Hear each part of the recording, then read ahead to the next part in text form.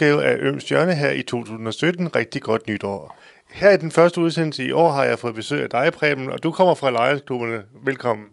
Tak skal du have. Og Preben, kan du fortælle, hvad Lions-klubberne er?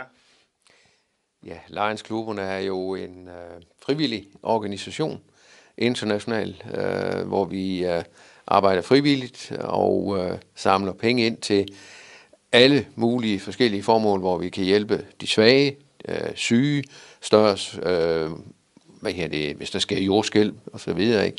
Så, øh, så går vi ind og støtter øh, befolkningen lokalt, hvis der er sådan nogle ting. Hvad er din rolle i Lions Klub?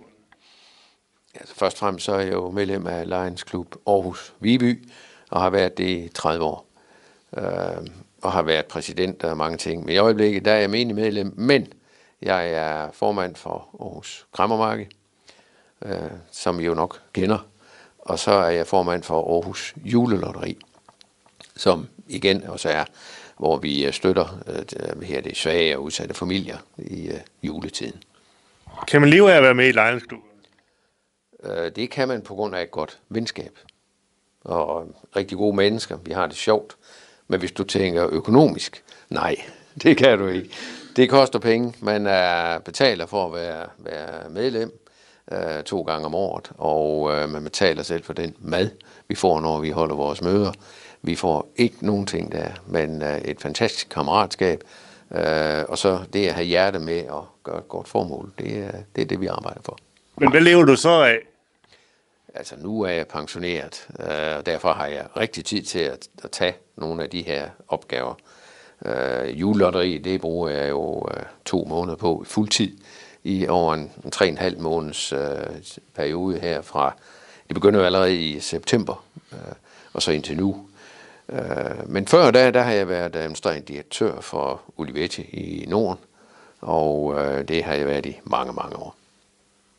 Nu var du selv inde på, øh, at I har det her store krammer. Det er jo faktisk en, mere eller mindre blevet en årlig tradition. Hvordan fandt I egentlig på at lave det krammer?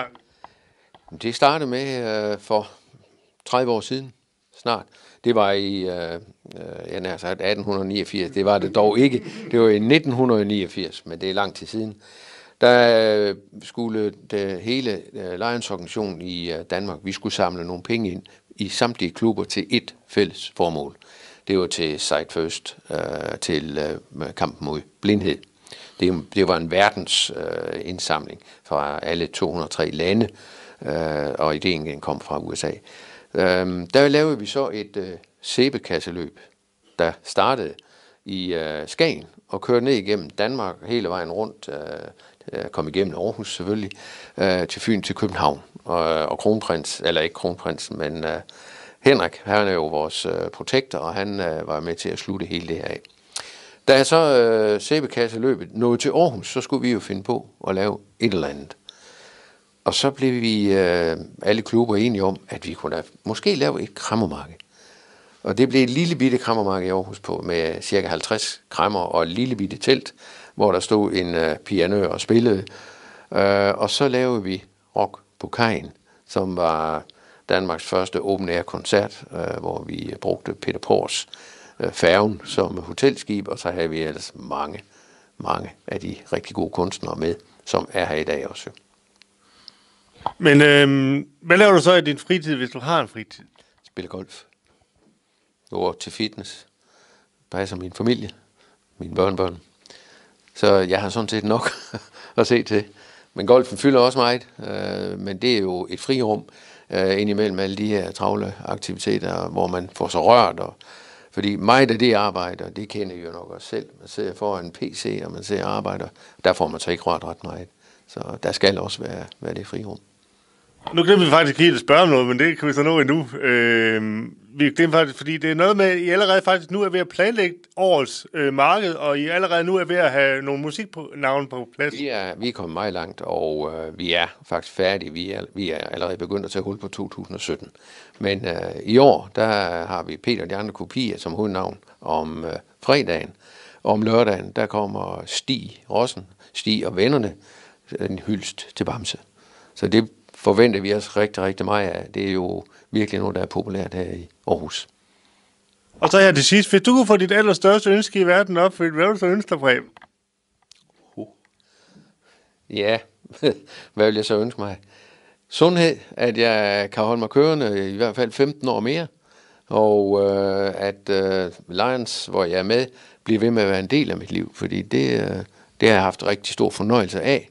Øh, det har jeg sammen med rigtig mange gode, positive mennesker, som øh, jeg gerne vil være sammen med. Og så, hvad her det, min familie, at vi har det godt. Og så kom du faktisk også med en lille opfordring, da vi lige sad sådan og, og, og, og snakkede, før vi gik i gang med det her udsendelse. Og det var, at I faktisk mangler nogle unge mennesker i lejren. Ja, vi, øh, vi har mange, der hjælper til nede på Krammermarkedet. Vi er 140 mand, der er i gang, i hvert fald i fem dage uafbrudt. Uh, vi vil gerne uh, have flere medlemmer, uh, som er Lions, som vi øh, kan spare med og som kan hjælpe til. Og der har vi altså brug for, for hvad her det, kvinder, mænd mellem 30 og 45 år, øh, og øh, de kan bare henvende sig gå øh, på nettet, find os, og så skal vi nok sørge for at tage kontakt, og så kan de jo prøve at høre lidt om, hvad Lions er. Det er jo, en, det er jo verdens største NGO-organisation. Non-Governmental Organization, det vil sige, det er frivillig arbejdskraft hele vejen rundt. Men det vil vi sige tusind tak, fordi du havde tid og lyst til at komme. Tak, det var rart, at lige ville høre på mig. Tak.